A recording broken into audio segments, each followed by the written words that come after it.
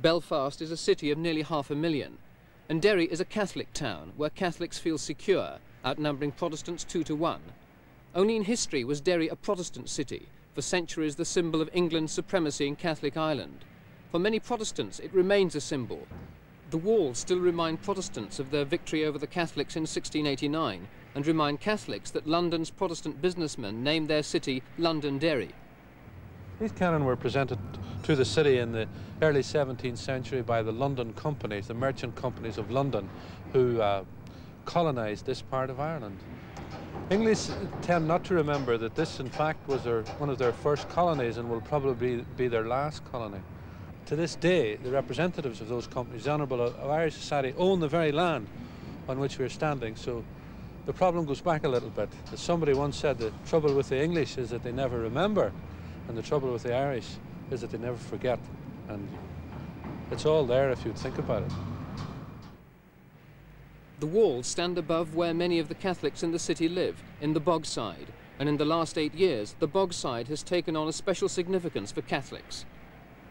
What's the significance of Derry in the present conflict? Well, Derry, in a sense, is a microcosm of the whole Irish problem. It's a place where the two traditions meet in strength. There is a Catholic majority, a Protestant minority, similar to Ireland as a whole. Uh, for the Protestant and Unionist community, Derry is the place where their battle was fought, their Mecca, the siege of Derry, uh, and in many ways represents with their slogans of no surrender and not an inch, the sort of siege mentality that today I think still afflicts a large part of the loyalist community. For the Catholic or nationalist community, it is in a sense the place where their battle is being fought. But at least Derry has for the most part been spared the sectarian murders of Belfast violence has not yet destroyed the good relations that still exist between Catholics and Protestants in Derry. The majority of people here are not in any way sectarian minded, and sectarianism has never been a major uh, open factor in this city. I think also because of the size of the city, people are much more in contact with one another. People know one another and meet one another and can easily reach one another. Whereas Belfast, the ghetto is much, much larger place, and the ghetto situation is much more stark and much more clearly defined. Derry has an entirely different outlook from the rest of Northern Ireland. It's, it's a city whereby that the women went out to work and the, uh, the men stayed at home and watched the kids. And, you know, all over your shirt factories here on the west bank of the Foyle, the women mingled with each other, Protestants and Catholics. They went to each other's houses, they ran about with each other. And you were getting this mingling, which you didn't have in the ghettos in Belfast. Uh, because of the high unemployment that we have in Derry, uh, the men had to work where they got their jobs, and therefore it was a mixture you're having Protestant and Catholic. Unlike Belfast, where I remember speaking to one prominent uh, person from Belfast, and they said that he had never saw a Catholic until he was 13 years of age. And this I found amazing, because we were, we were running about with Catholics all the days of our lives. Over the years, the two communities have drawn apart physically. Only a few Protestants now live on the Catholic side of the river that divides Derry. But the physical separation has not led to the ghetto mentality that now scars Belfast.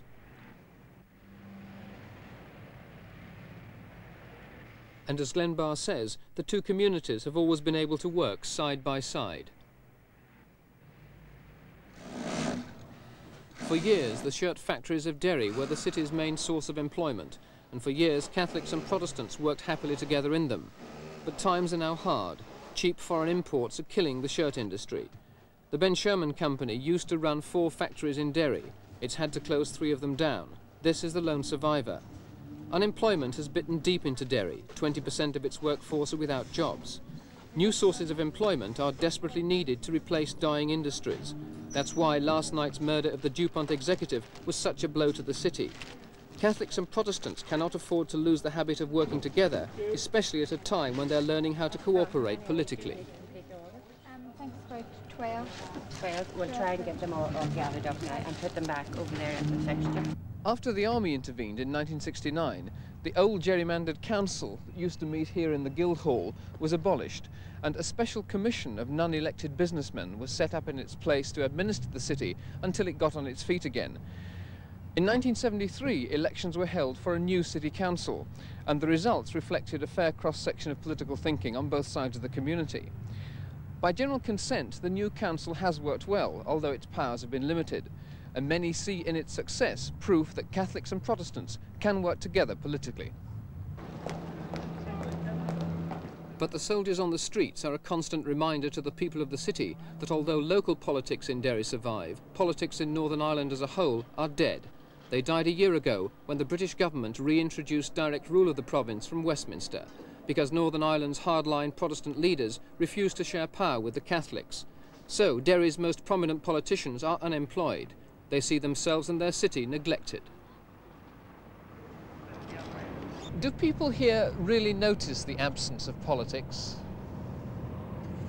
Yeah, I think we do because uh, at the present time with no political outlook, no political forum, this city has been forgotten on numerous occasions you know, even before the present troubles, this city, which is the second city, uh, and which we we would claim is the first city, because we were a city when Belfast was still a swamp, as the saying goes, and um, we've been neglected. There's no doubt we've been neglected. Politics in a divided society are about reconciling differences and therefore people with diff representing different points of view uh, trying to come together to construct uh, a system of government here that all can participate in. When one section refuses to do that and simply says we want our own way, then politics stops dead uh, and we have a vacuum. And in such a vacuum, then violence will flourish and politics themselves will, will, will, will find it very, very difficult uh, to survive. Has Derry now learned to live with the memory of Bloody Sunday? Well, I think that the, the people have adjusted themselves uh, to the violent situation. As I often say, when you're reared in your bare feet, you'll never get pneumonia in the snow. So people, in fact, can adjust themselves to what is happening. And people have learned to live with the situation here. That doesn't mean that they like it anymore. In fact, I think it is having a very serious effect on morale because people are really fed up to the teeth with the whole situation now and with the lack of progress towards any settlement. Bloody Sunday is remembered as an event in itself, but its greater significance lies in the fact that it led to the destruction of the political system that had run Northern Ireland for 50 years, a system which was unacceptable to Catholics. All attempts that the British government has made since to find a political solution have failed, and there are no signs of any new initiatives from Westminster. In the present political vacuum, many fear that the provisionals may be proved right, that the absence of an initiative from Westminster indicates that Britain intends to pull out. Meanwhile, Derry can only wait and remember her dead. Nineteen young men on the blanket, breathing